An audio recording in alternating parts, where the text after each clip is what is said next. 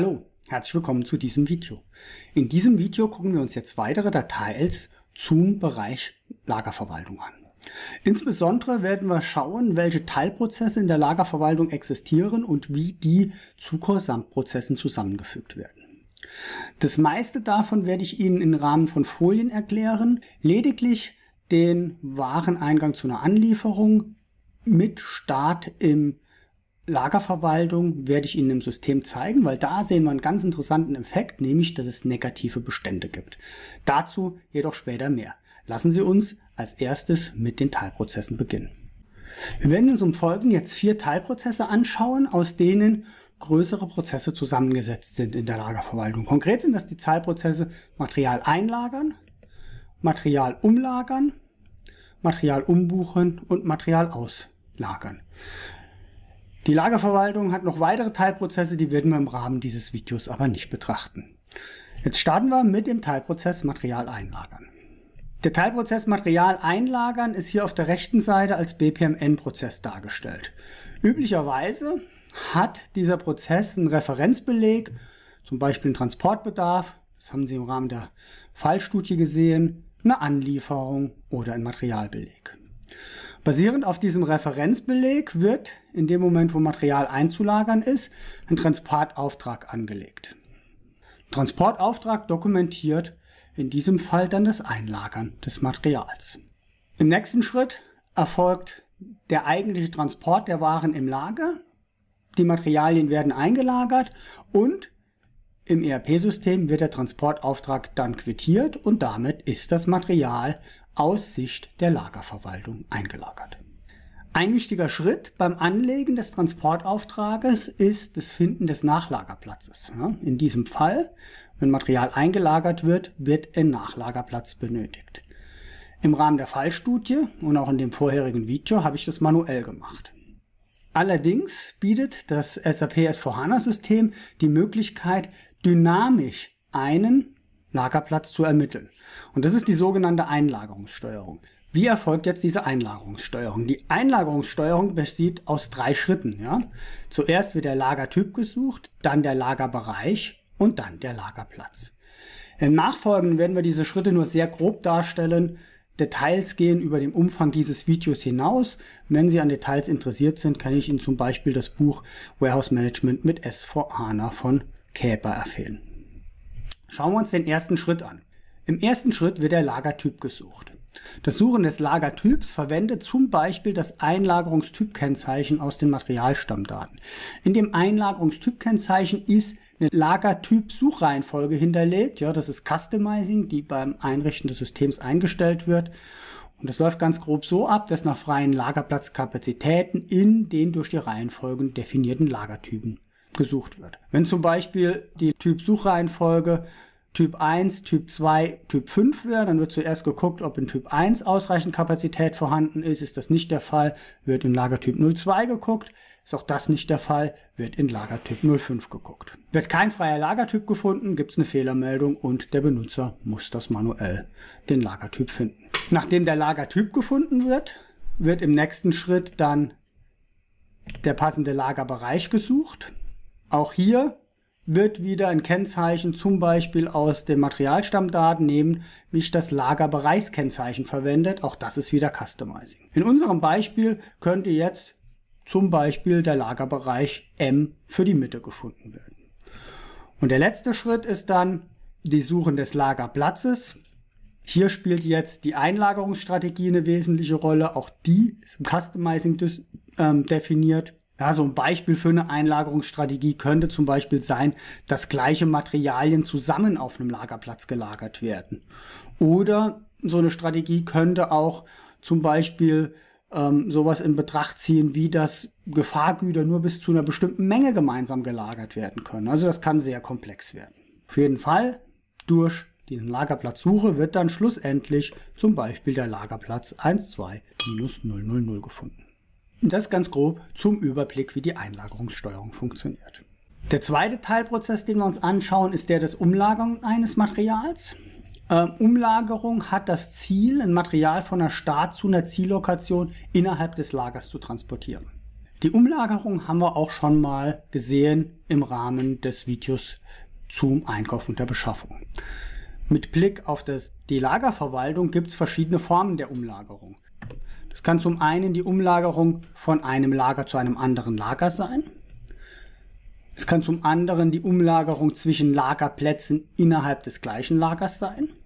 Es kann aber auch die Umlagerung von einem Werk zu einem anderen Werk oder die Umlagerung zwischen verschiedenen Lagerorten eines Werkes bedeuten. Es gibt verschiedene Möglichkeiten, diese Umlagerung zu initiieren. Ja, das kann zum Beispiel eine Umbuchung in der Bestandsführung sein, eine Umlagerungsbestellung im Bereich Einkauf und Beschaffung oder eben aus der Lagerverwaltung gestartet ein Umlagerungstransportauftrag oder eine Umbuchungsanweisung in der Lagerverwaltung. Schauen wir uns jetzt mal verschiedene Beispiele an dafür. Als erstes die lagerinterne Umbuchung. Bei der lagerinternen Umbuchung ist das so, dass ein Material umgelagert werden muss. Dafür wird ein Transportauftrag angelegt, ja, der das Ganze dokumentiert. Das Material wird innerhalb des Lagers transportiert. Der Transportauftrag wird quittiert und damit ist das Material dann umgelagert. Das ist ein sehr einfacher Prozess. Etwas komplexer ist das zweite Beispiel, das ist die Umlagerung zwischen zwei Werken. In diesem Fall wird das in Form einer Umlagerungsbestellung durchgeführt. Und wie könnte das aussehen? Ja, also Material soll umgelagert werden von einem Startwerk zu einem Zielwerk. Dazu wird im ersten Schritt eine Umlagerungsbestellung angelegt. In dem abgebenden Werk wird dann ein Warenausgang gebucht. Sie wissen, das Buchen eines Warenausgangs führt zu zwei Belege, nämlich zu einem Materialbeleg in der Bestandsführung und zu einem Buchhaltungsbeleg in dem Finanzwesen. In dem aufnehmenden Werk wird dann ein Wareneingang gebucht. Dieser wird durch einen Materialbeleg dokumentiert. Und in dem Fall, dass das aufnehmende Werk jetzt die Lagerverwaltungsfunktionalität aktiv hat, ergibt sich aus dem Buchen des Wareneinganges ein Transportauftrag. Und dann, hier sehen wir jetzt schon einen unserer Zeitprozesse, wird der Teilprozess Material einlagern durchgeführt. Das Material wird jetzt in dem aufnehmenden Werk eingelagert. Was Sie hier auch sehen, ist, dass es bei uns nur einen Buchhaltungsbeleg gibt. Und daran erkennen Sie, dass diese Umlagerung von Werk an Werk in unserem Beispiel in dem gleichen Buchungskreis stattgefunden haben muss. Andernfalls müsste durch den Materialeingang hier auch ein Buchhaltungsbeleg erzeugt werden. Das ist nicht der Fall, von daher können wir daraus schließen, dass dieser Beispielprozess die Umlagerung von einem Werk in ein anderes Werk innerhalb eines Buchungskreises ist. Was wir hier außerdem sehen ist, dass wir in dem abgebenden Werk keinen Transportauftrag erzeugt haben. Ja? Und daraus können wir schließen, dass eben in diesem abgehenden Werk die Lagerverwaltung nicht aktiv ist. Dort erfolgt die Bestandsführung ausschließlich im Rahmen der Bestandsverwaltung. Den dritten Teilprozess, den wir uns anschauen, ist das Material umbuchen. Um was handelt es sich bei dem Material umbuchen? Bei dem Material umbuchen geht es darum, bestimmte Merkmale von Beständen oder Teilbeständen eines Materials zu ändern. Das kann zum Beispiel eine Bestandsqualifikation oder ein Sonderbestandskennzeichen sein. Also eine Umbuchung könnte zum Beispiel sein, ein Material vom frei verfügbaren in den Qualitätssicherungsbestand zu buchen. Sobald die Lagerverwaltung in einem Werk aktiv ist, gibt es diese Umbuchung in zwei Varianten, mit dem Start in der Bestandsführung und mit dem Start in der Lagerverwaltung. Wenn die Umbuchung in der Bestandsführung gestartet wird, dann sieht es folgendermaßen aus. Die Umbuchung wird zuerst in der Bestandsführung erfasst. Dadurch ergibt sich ein Materialbeleg. Das kennen wir schon. Sollte in diesem Werk jetzt die Lagerverwaltung aktiv sein, dann wird durch das Erfassen einer Umbuchung in der Bestandsführung eine Umbuchungsanweisung in der Lagerverwaltung erzeugt. Die Umbuchungsanweisung ist dann die Basis, mit der ein Transportauftrag angelegt wird. Der Transport wird durchgeführt und der Transportauftrag quittiert. Dadurch ist dann auch die Umbuchung in der Bestandsführung nachvollzogen. Und hier dran sieht man auch wieder ja, diese Synchronisation zwischen der Lagerverwaltung und der Bestandsführung sehr schön. In diesem Fall erfolgt jetzt eben zuerst die Umbuchung in der Bestandsführung und wird dann in der Lagerverwaltung nachgezogen. In der zweiten Variante dieses Prozesses ist es genau andersrum. Ja. Da erfolgt die Umbuchung in der Lagerverwaltung. Es wird dazu eine Umbuchung erfasst. Diese Umbuchung führt zu einem Transportauftrag. Und sobald dieser Transportauftrag quittiert wird, ja, wird gleichzeitig ein Materialbeleg erzeugt und dieser Materialbeleg sorgt jetzt dafür, dass diese Umbuchung auch in der Bestandsführung nachgezogen wird. Sie erkennen daran auch, dass wenn die Umbuchung zuerst in der Lagerverwaltung durchgeführt wird, gibt es zum Beispiel keine Umbuchungsanweisung. Ja? Dann wird die Umbuchung direkt durch einen Transportauftrag erfasst. Der letzte Teilbeleg, der jetzt noch fehlt, ist das Auslagern des Materials. Dabei geht es darum, dass Material aus dem Lager entnommen wird. Ja, das ist sehr ähnlich zum Einlagern. Es gibt wieder Referenzbelege. Basierend auf diesen Referenzbelegen wird ein Transportauftrag erzeugt. Das Material wird ausgelagert, Transportauftrag wird quittiert und damit ist das Material ausgelagert. Und analog zum Material einlagern muss auch beim Material auslagern ein Lagerplatz gefunden werden. Das ist jetzt aber nicht der Lagerplatz, zu dem transportiert wird, sondern das ist der Lagerplatz, aus dem entnommen wird. Ja? Und das Ganze erfolgt im Rahmen der Auslagerungssteuerung. Wie sieht die Auslagerungssteuerung aus? Die basiert auch wieder aus drei Schritten. Ja, zuerst wird ein Lagerplatz gesucht, dann im Kommissionierbereich, dann der Lagerplatz. Genau wie bei der Einlagerungssteuerung, ganz grob, wie das aussieht. Erster Schritt, Lagertyp suchen. Das kennen Sie schon, das ist genau wie bei der Einlagerungssteuerung. Es wird jetzt hier das Auslagerungstyp-Kennzeichen verwendet, um den zugehörigen Lagerplatz zu finden, ja, basierend auf einer Lagertyp-Suchreihenfolge. Wenn ein Lagertyp gefunden wurde, ja, dann wird der verwendet, um daraus das Material auszulagern. Innerhalb des gefundenen Lagertyps wird dann im nächsten Schritt Kommissionierbereich gesucht. Im Beispiel rechts ja, ist das jetzt der Kommissionierbereich 001. Und dann ist der letzte Schritt, den korrekten Lagerplatz zu finden. Hier spielt jetzt die Auslagenstrategie eine große Rolle. Ja, da könnte zum Beispiel sowas sein wie First In, First Out. Ja, also die ältesten Materialien werden zuerst ausgelagert. Basierend auf dieser Strategie wird eben der Lagerplatz gesucht, aus dem ausgelagert werden soll. Und das könnte jetzt in unserem Beispiel zum Beispiel der Lagerplatz STPN 2000 sein. Wir haben jetzt vier Teilprozesse kennengelernt. Das Spannende ist natürlich, wie diese Teilprozesse zusammenspielen. Und das werden wir im Folgenden machen, um, indem wir uns zwei große Prozesse angucken, nämlich den Wareneingang und den Warenausgangsprozess. Es gibt noch eine ganze Reihe weitere Prozesse, wie zum Beispiel Inventur, Produktionsversorgung, Yard Management und so weiter. Die gehen über den Umfang dieses Videos hinaus, die werden wir uns nicht anschauen. Nochmal eine kurze Wiederholung zu den Wareneingängen. Ja, das kennen Sie eigentlich schon aus dem Video zum Einkauf und Beschaffung. Wareneingänge können geplante Wareneingänge sein extern durch eine Bestellung oder intern zum Beispiel durch eine Fertigung oder sonstige Wareneingänge, zum Beispiel bei einer Bestandsaufnahme. Wir werden im Folgenden zwei Varianten des Wareneingangs anschauen, nämlich einmal mit Anlieferbezug und einmal ohne Anlieferbezug.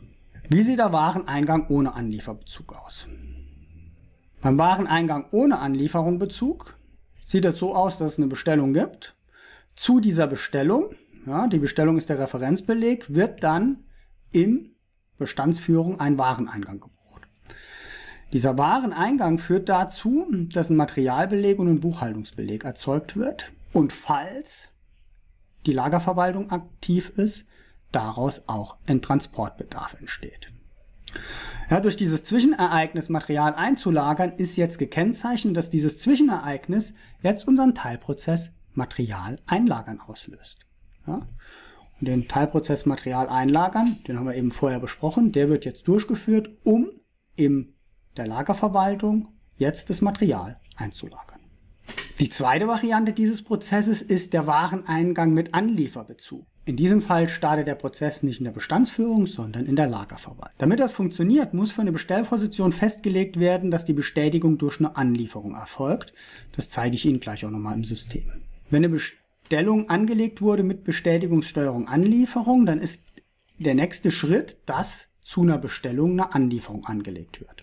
In diesem Fall ist die Bestellung der Referenzbeleg. Das führt dazu, dass Material einzulagern ist und dass jetzt wieder dieser Teilprozess Material einlagern durchgeführt wird. Ja, der Referenzbeleg ist jetzt eben kein Transportbedarf, sondern der ist eine Anlieferung. Das Ergebnis des Materialeinlagerns ist, dass ein Transportauftrag erzeugt und quittiert wird. In dem Moment, wo der Transportauftrag quittiert ist, ist das Material eingelagert. Das heißt, aus Sicht der Lagerverwaltung ist dieser Prozess abgeschlossen und es muss dann noch der nachgelagerte Schritt in der Bestandsführung durchgeführt werden, nämlich das Buchen des Wareneingangs.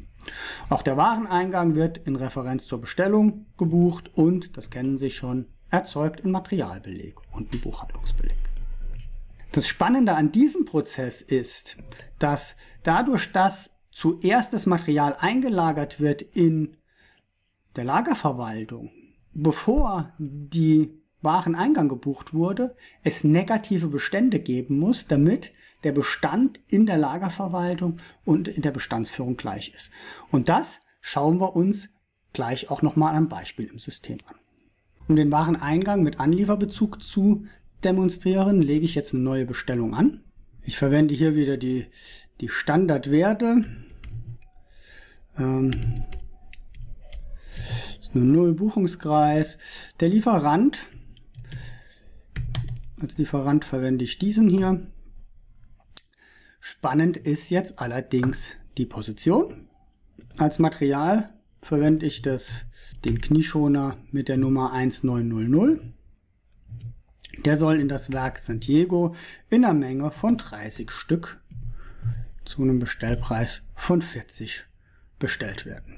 Um den Anlieferbezug herzustellen, ist es wichtig, dass wir in der Lieferantenbestätigungssteuerung hier Anlieferung als Bestätigungssteuerung auswählen. Wenn das gemacht ist, kann diese Bestellung gespeichert werden. Der nächste Schritt, der jetzt notwendig ist, ist das Anlegen einer Anlieferung.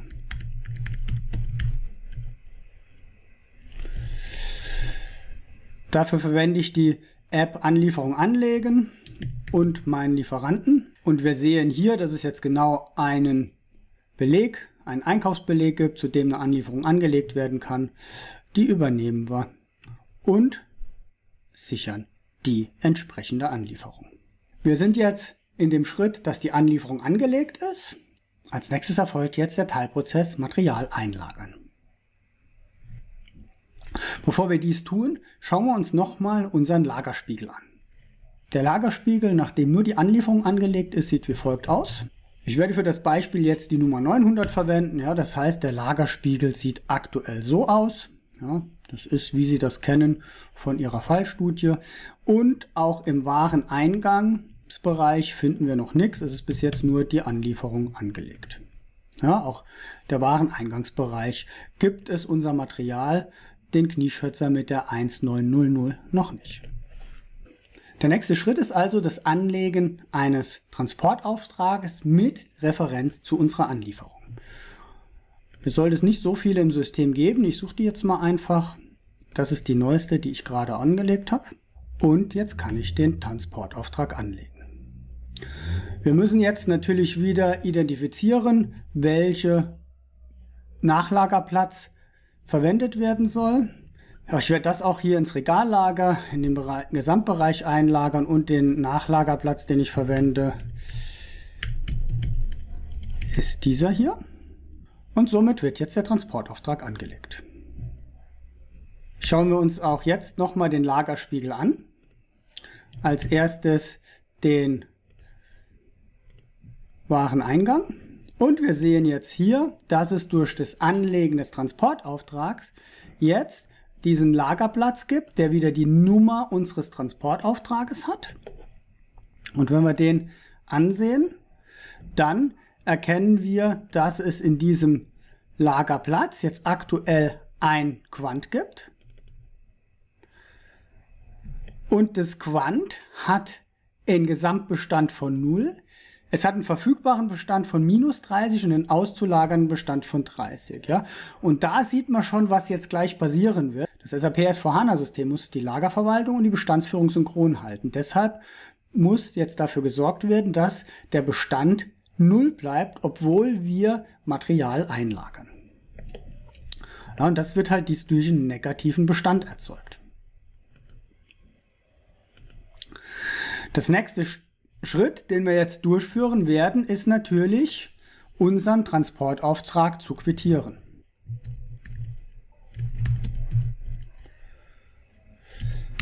Das ist der Transportauftrag, den wir gerade angelegt haben. Und wenn ich den jetzt quittiere, dann sehen wir, der Nachlagerplatz wird gewählt, die entsprechende Menge ist vorbelegt und ich kann diesen Transportauftrag quittieren. Ja, wenn wir uns jetzt wieder den Lagerspiegel anschauen, dann sehen wir zwei Dinge. Schauen wir uns als erstes mal das Regallager an und da eben die Lagerplätze, die ich gewählt habe.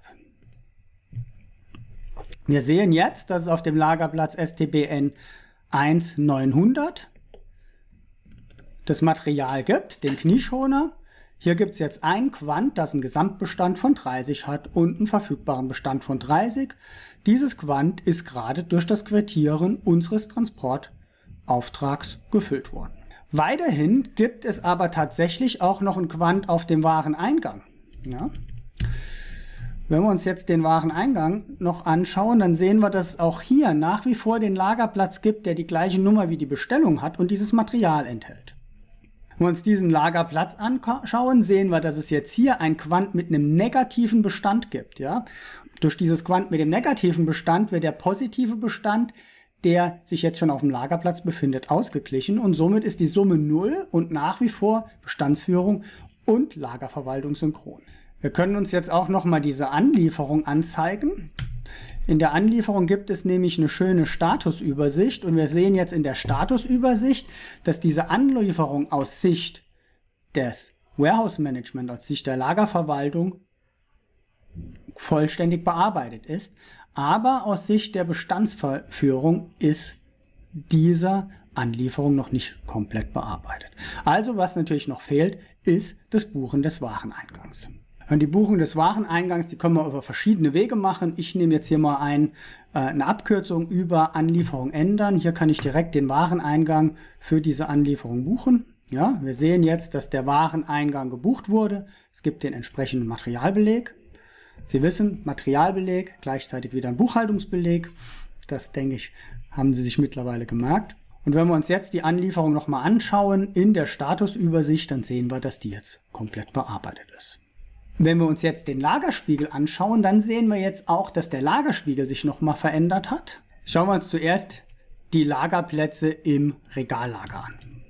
Hier sehen wir jetzt, dass sich eigentlich nichts groß geändert hat. Ja, hier gibt es nach wie vor dieses Material, den Knieschützer. Wenn wir uns das angucken, gibt es hier ein Quant, das den Knieschützer enthält und einen Gesamtbestand von 30.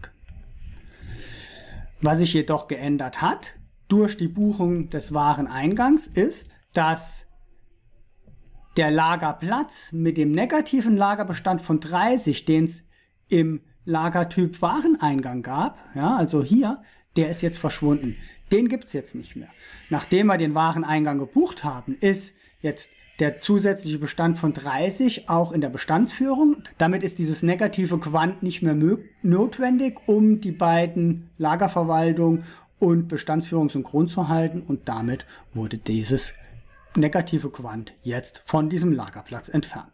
Und so haben Sie jetzt einmal gesehen, wie der Wareneingang mit einem Anlieferbezug aussieht. Da wird zuerst die Anlieferung in der Lagerverwaltung gebucht und dann erst die Bestandsführung nachgezogen. Nachdem wir uns jetzt den Wareneingang beispielhaft im System angeschaut haben, zur Vollständigkeit halber noch der Warenausgangsprozess.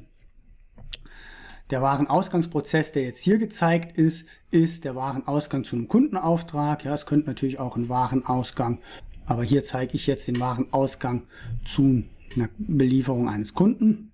Wie sieht er aus? Es wird zu einem Kundenauftrag eine Auslieferung aus erzeugt. Damit soll Material ausgelagert werden. Dieses Zwischenereignis führt dazu, dass der Prozess Material auslagern ausgeführt wird. Das Auslagern wird durch einen Transportauftrag dokumentiert.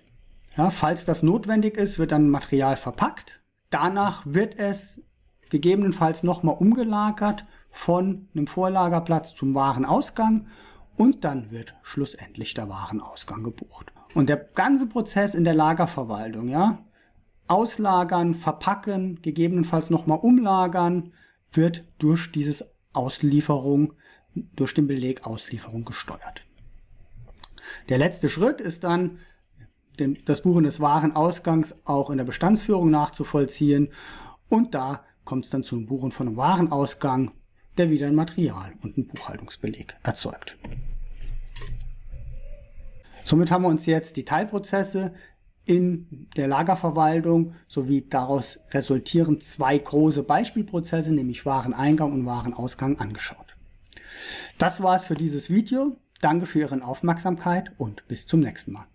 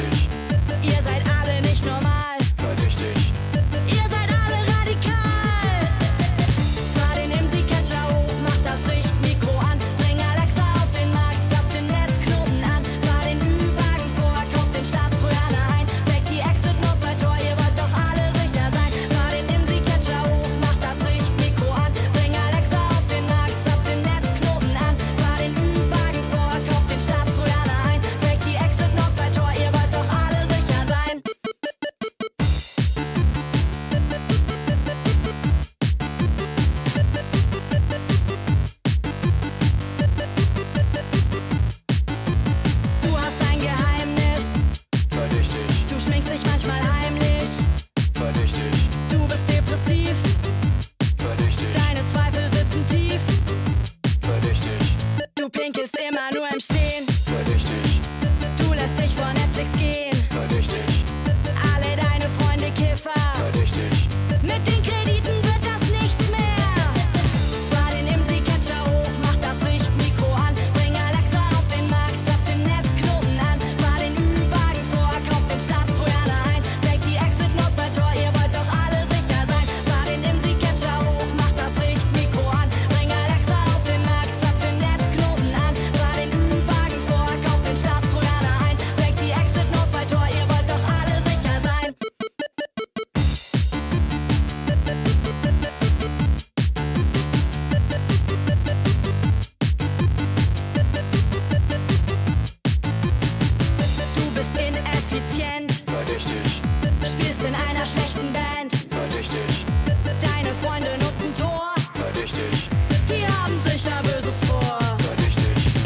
20 Sticker auf dem Laptop. verdächtig,